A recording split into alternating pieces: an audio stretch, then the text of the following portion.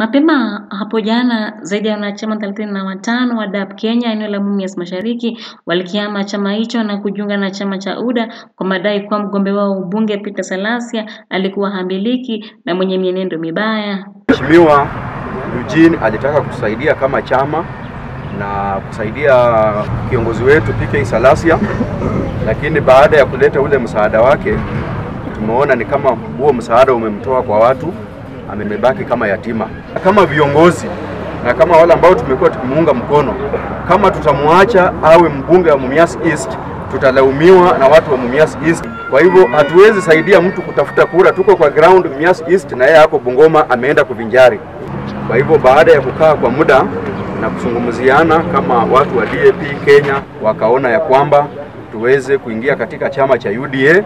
Ni madai haya ambayo Peter Salasya na wanachama wengine wa DAP Kenya wakiongozwa na mwenyekiti wa eneo hili wanakanusha kwa vikali, wakisema kuwa waliodai kuhama hawajawahi kuwa wanachama wa DAP Kenya na kuwataja kama matapeli wa kisiasa.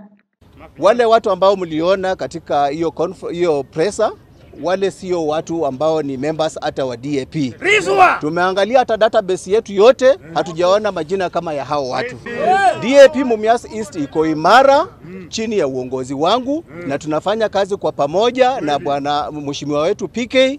PK ni movement ya wananchi wote wa Mumias East na sisi wote tuko nyuma yake imara, na hakuna mtu hata mmoja kwa secretariat yetu ambaye ametoka katika chama. DAP Mumias East iko imara, tuko na chairman ambaye alichaguliwa. Sisi kama kaunti ya Kakamega tumekuwa tukitembea na chairman ambaye ni Matthews.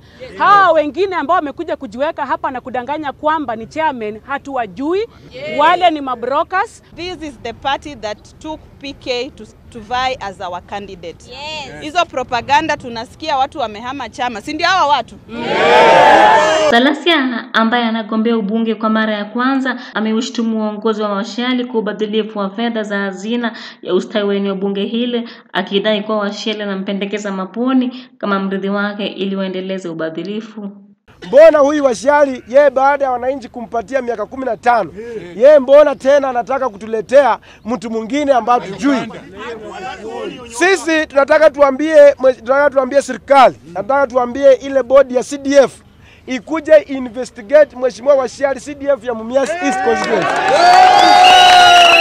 kwa sababu kwa miaka tatu hatujai kuwa na substantive CDF manager, fund manager wote ambao wamekuwa hapa kwa miaka tatu wamekuwa in the acting position, yes. ndio ametumia ile position kuiba pesa ya mwananchi wa Mumias. Aliambia analetea wananchi buses, wale wa Kamasia akawaahidi buses, akaahidi Raunga bus, akaahidi Maraba bus, akaahidi shule ya e, Mng'ang'a bus, lakini kufikia leo huyo hajainua hata basi hata moja.